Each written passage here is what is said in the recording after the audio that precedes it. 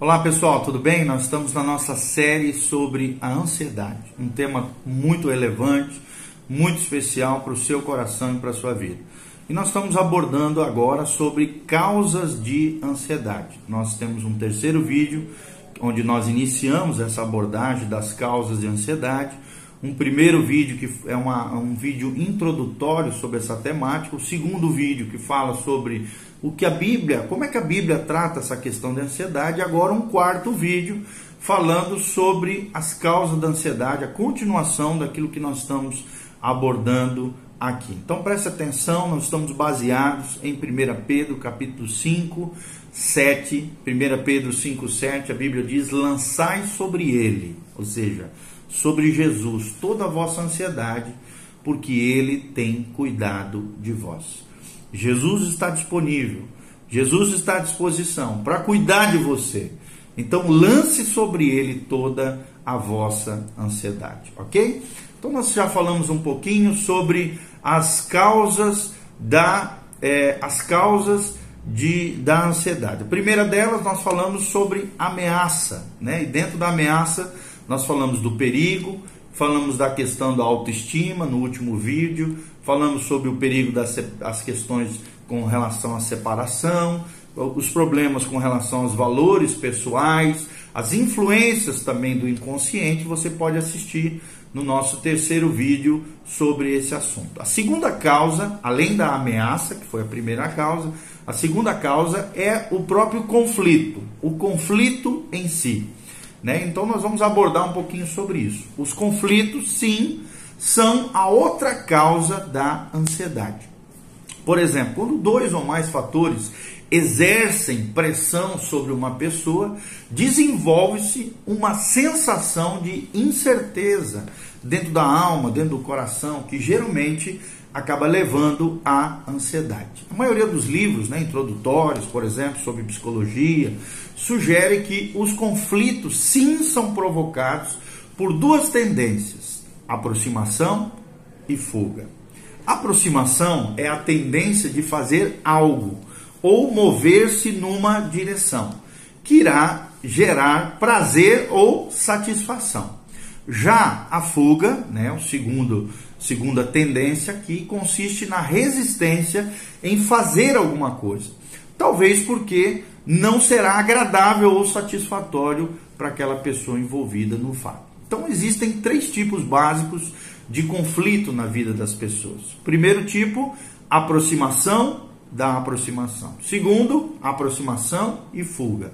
E terceiro, fuga e fuga. Nós vamos falar agora ampliar ainda mais sobre esse assunto. Primeiro, né, dentro desses conflitos, desses três que nós vamos abordar é a aproximação, aproximação.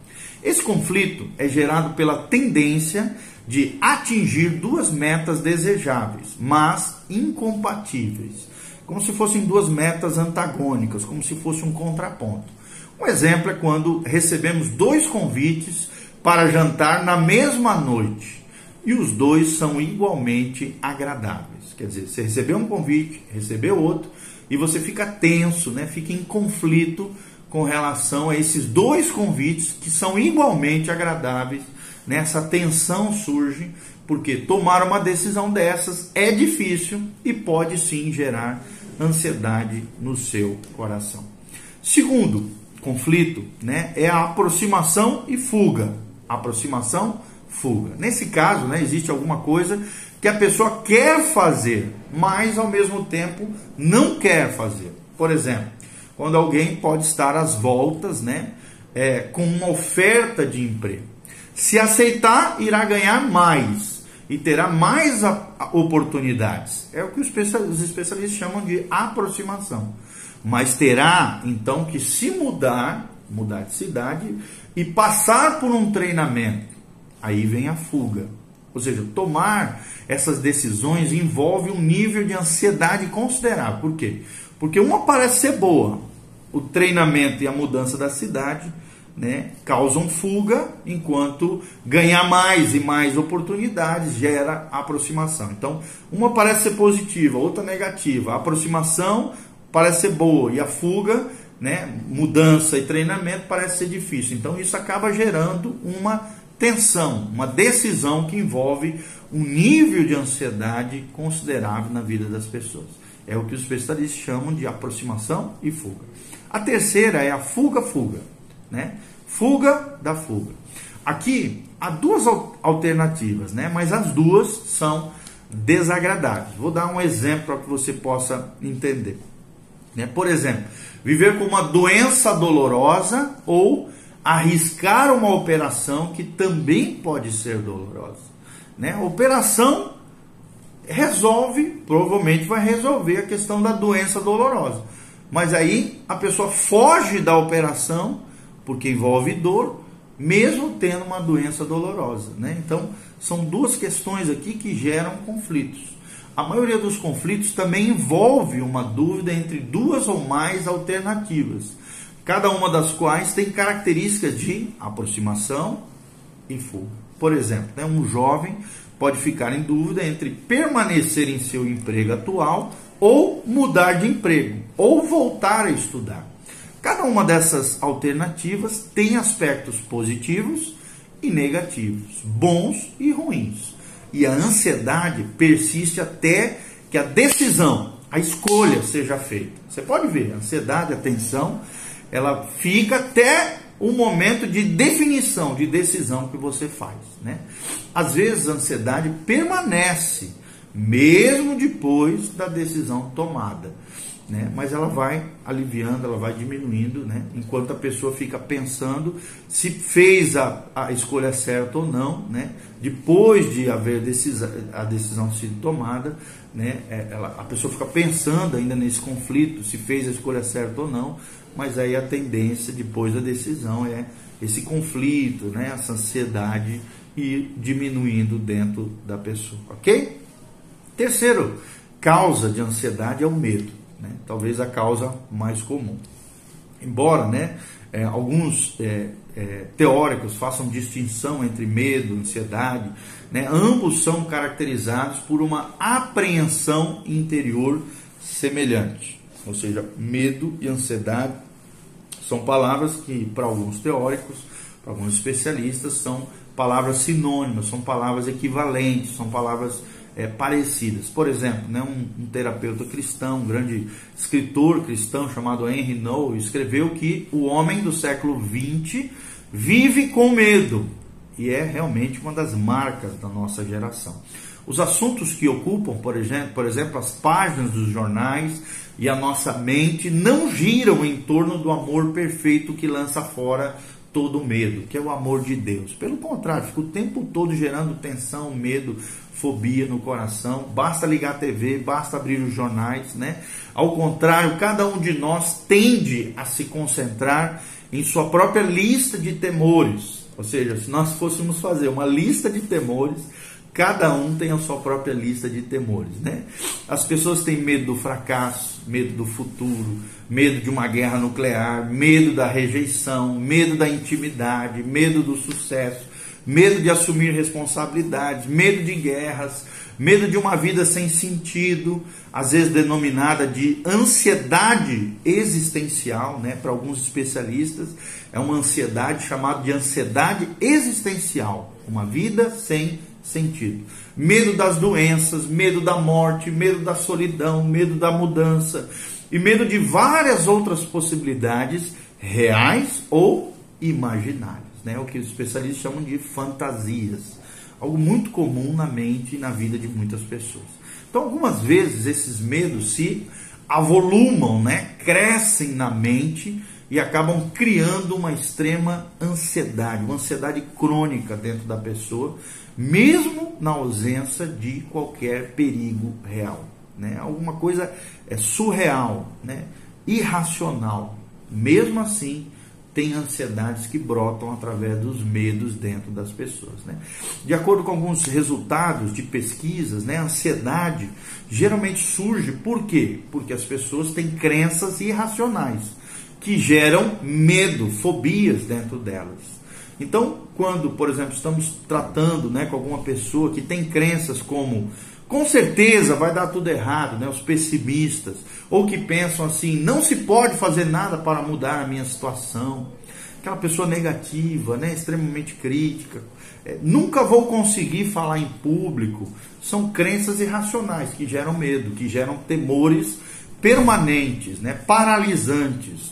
Todo medo paralisante é um medo crônico, é um medo perturbador, é um medo que precisa ser confrontado, é um medo que precisa ser destruído na nossa vida porque gera paralisia, nos gera anomalias comportamentais dentro de nós e, e geram comportamentos limitadores, destruidores que nos afetam no nosso dia a dia, nas nossas rotinas diárias. Então, para ajudar essas pessoas é necessário derrubar, quebrar essas crenças irracionais. É o que a Bíblia chama de sofismas.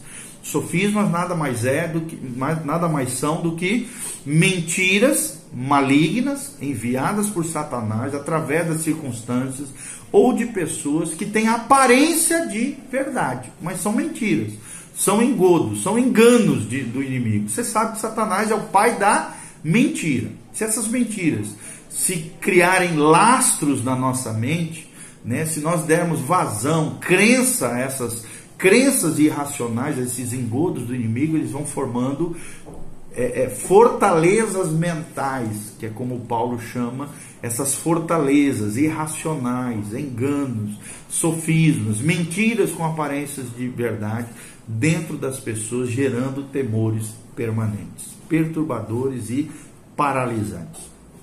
Quarta causa de ansiedade são as necessidades não satisfeitas. Quais são as necessidades básicas de um ser humano? Cada um de nós tem a sua resposta pessoal, individualizada.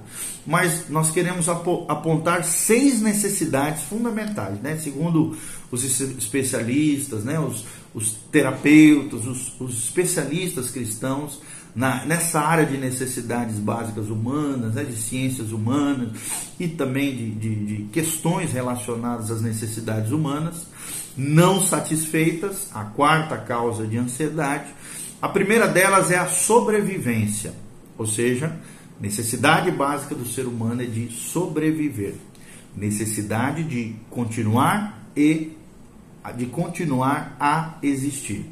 Né? É a questão da própria sobrevivência, da existência humana. Segunda delas é a segurança. Todo ser humano tem necessidade de estabilidade econômica e estabilidade emocional. Terceira delas, o sexo, a necessidade de intimidade, né? E a questões relacionadas à sexualidade humana. Uns têm bem definido, bem, bem controlado, né? Tem, é, são bem resolvidos nesses aspectos, outros não. Outros né, têm essas questões mal resolvidas dentro da sua soma, seu corpo, nas questões físicas, biológicas, dentro da sua alma, sua psique e que acabam afetando a pneuma, o mundo espiritual também, a vida espiritual.